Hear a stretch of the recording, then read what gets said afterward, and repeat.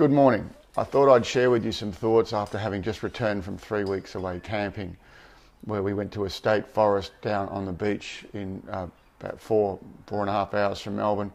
And uh, there was no electricity, no mobile phone range, except for a fairly long walk to get to range or a, a drive to get to range.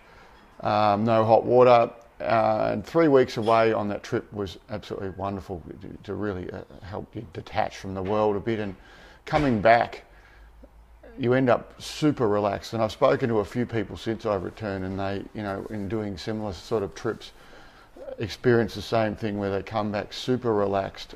Uh, you know, to the point where you can just sit there doing nothing for an extended period of time and not be bored and actually enjoy the, the, that quiet and silence of of doing very little, but just observing. So in that, uh, the, reflection of that is that you, you really you want more of it, but then we have to go back to the world. So there's this reluctance to then going back to our lifestyle where we know we're going to get caught up in the world and the higher pace, etc., etc. So, firstly, uh, you know, in reflection of the fact that it feels so good, I, it makes me reflect on the fact that that's really what we're built to do. What we understand from research on hunter-gatherer cultures and, anthropological research and genetic research is it takes about 40 to 100,000 years for a change in the environment to be assimilated by our bodies. So that understanding main, means basically that our bodies that we have are, are bodies that are built for the way we lived 40,000 years ago. And we were hunter-gatherers. And when you go away camping, it's a bit more than you get a few more luxuries than you have when you, if you were a hunter gatherer, but the pace of life tends to drop and become more like that. They understand from research on current hunter gatherer cultures and some of the hunter gatherer cultures from the past that they probably worked on average about 15 to 25 hours a week, which, uh, if you compare that to our working, is uh, a lot, lot less. And then the rest of their time was spent in leisure when you go camping like that, you know, yes, you do work in getting firewood, you do do a bit of work in terms of preparation of meals and preparation of your camp, but most of the time is spent other than that we're in leisure and that's the, was the great thing. You know, it's not leisure in watching television or playing with your device. It's reading books. We played scrabble going to the beach going for walks having a nap. It was it was wonderful.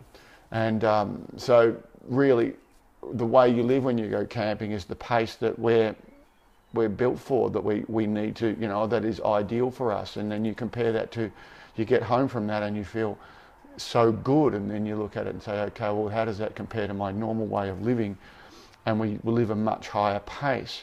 So the question then is how do I maintain this in my normal day-to-day living?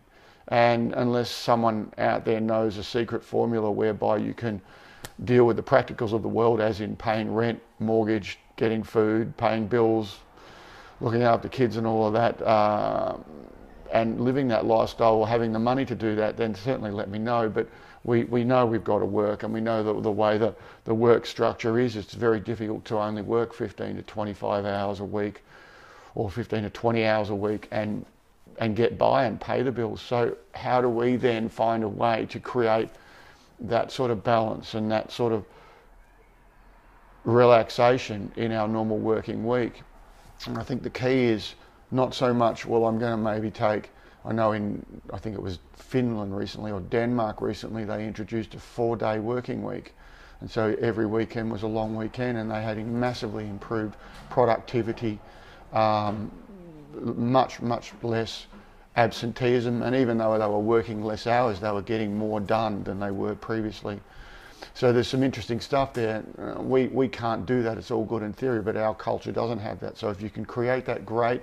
But the other way to look at it is from a day-to-day perspective. How do I find a balance between things that I have to do that I don't necessarily want to do, as, as in work or chores, and things that I enjoy doing for no reason, which might be reading, it might be yoga, it might be my mum knits and, and that's her meditation. It might be meditation, it's exercise, it's social time, it's anything you enjoy doing for no reason.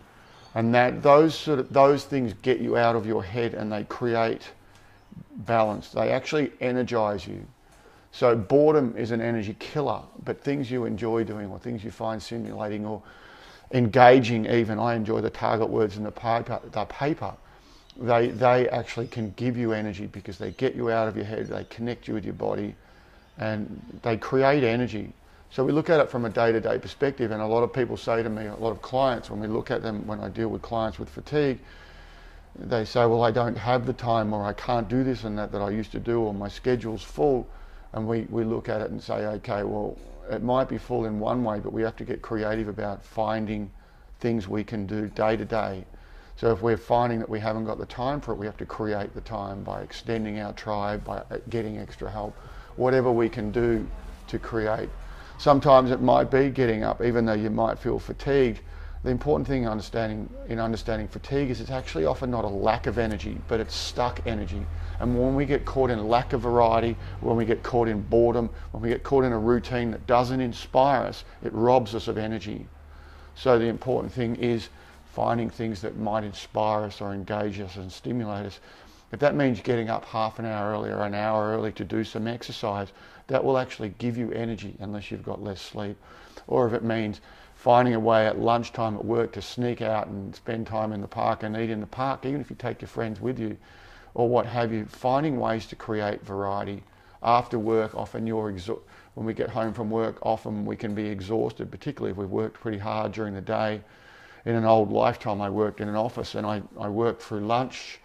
So I ate, you know, I ate through you know, while I was on the phone. It was just constant the whole time on the phone and the computer, and I get home absolutely exhausted.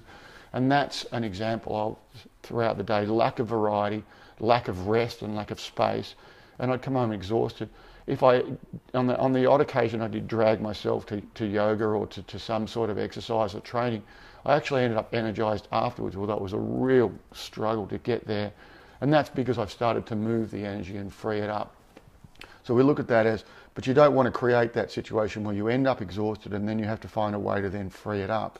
If we can find a way on a day to day basis to have us time or me time or whatever you want to call it, and it's, something that we enjoy, then that will actually help energize us and create balance to stop us getting into that nervous system state of the pace being too high.